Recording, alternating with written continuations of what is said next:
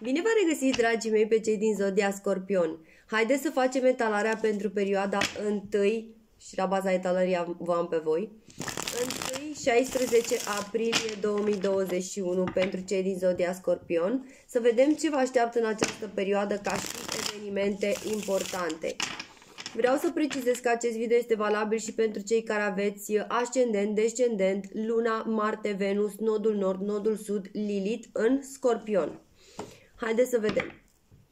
Ce vă așteaptă pe cei din Zodia Scorpion ca și evenimente importante în perioada 1-16 aprilie 2021? Scorpion, evenimente importante.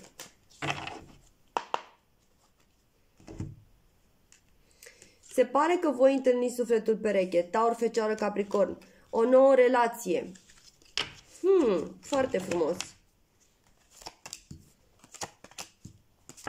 Țineți de stabilitatea voastră foarte mult în această perioadă.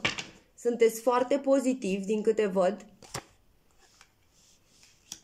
Tot ce a reprezentat uh, probabil o îngrijorare în legătură cu partea voastră financiară sau uh, locuința voastră sau uh, un trecut de al vostru, rămâne în spate cu trei de bute. Dar cineva aici nu este mulțumit că voi plecați mai departe și că aveți o nouă dragoste. Cineva care a locuit cu voi, cineva încă vă spionează. Este o persoană din trecutul vostru cu șase de cupe.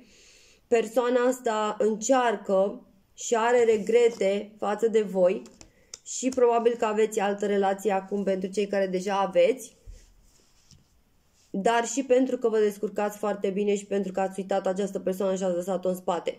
Persoana asta um,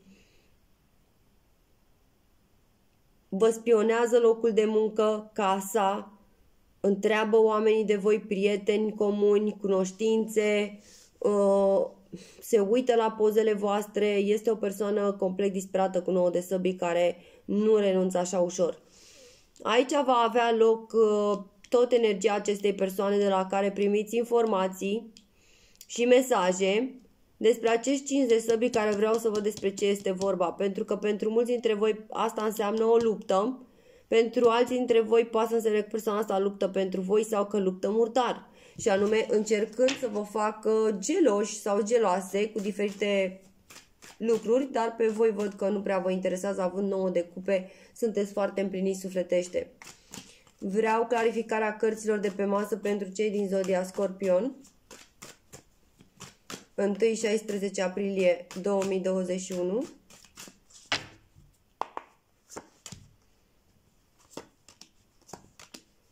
Da, voi munciți cu spor și aveți o nouă dragoste care apare în viața voastră, deși persoana asta din trecut și-a dat seama că vă iubește acum, este puțin cam târziu. Uh, este cineva din rac pe scorpion, ok? Care are, persoana asta are un grad de răutate.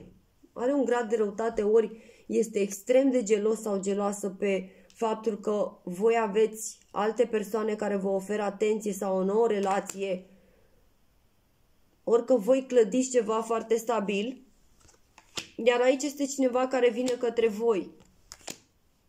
Persoana asta, acum am înțeles, cu 5 de săbii, oricât de mult ar încerca să vă facă rău, asta va fi decât o povară pentru el sau pentru ea. Dacă a încercat să vă facă rău făcându-vă geloși sau geloase sau uh, ducându-se cu altcineva, ok? Pentru voi asta a însemnat mers mai departe recăpătarea încrederii de sine, a respectului de sine, chiar ați devenit mult mai puternici, ați uitat această persoană, iar persoana asta a avut nicio victorie, ok? N-a avut nicio victorie. Persoana asta a crezut că o să vă facă să îi mâncați din palmă, dar n-a reușit. Comunicare vine, telefonic, internet, uh, mesaje. Aici sunteți, Doamne, din leu berbec săgetător, probabil cu steaua um, aveți și vărsător, cele din scorpion mă refer, dar sunteți care aveți luna în leu berbec săgetător sau leu berbec săgetător cu luna în scorpion. Voi munciți cu spor și veți avea parte de o nouă dragoste. Uh mhm. -huh. Mi s-a repetat leu.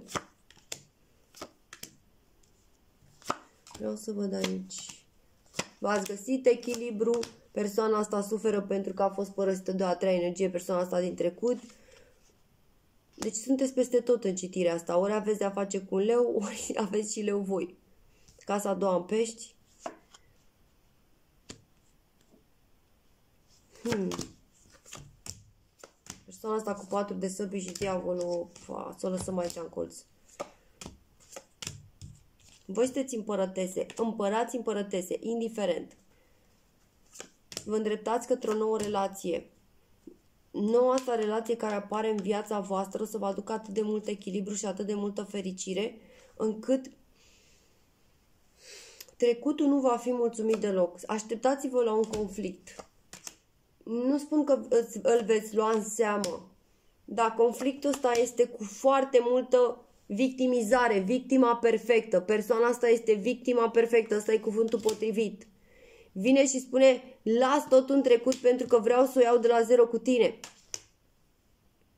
Persoana asta lasă totul în trecut pentru că n-a avut succes cu cea de-a treia energie, pentru că și-a dat seama cine sunteți voi.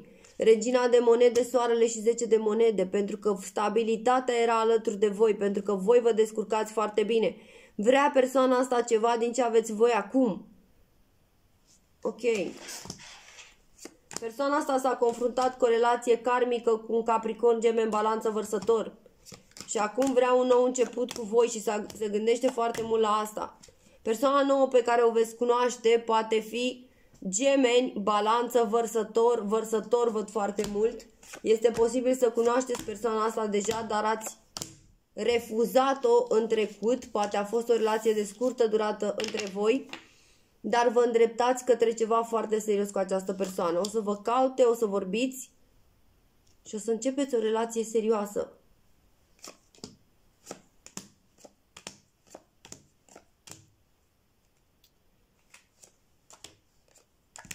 Respingeți orice formă de a comunica cu trecutul, respingeți.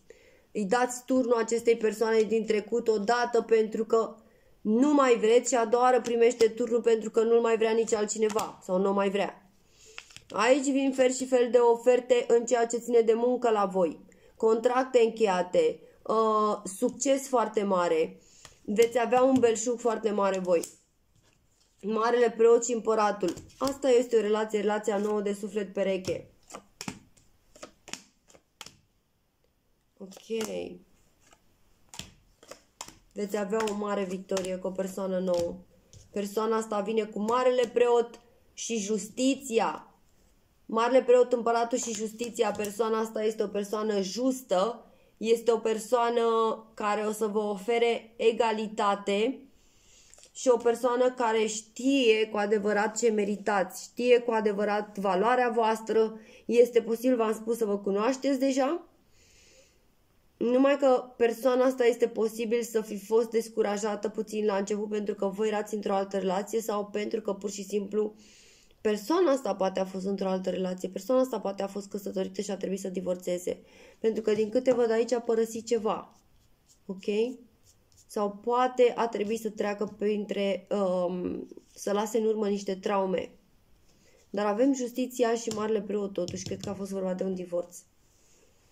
Bun, Atât am avut și pentru voi cei din Zodia Scorpion. Eu vă mulțumesc și sper că v-am fost de ajutor. Vă pup și ne vedem la un nou video.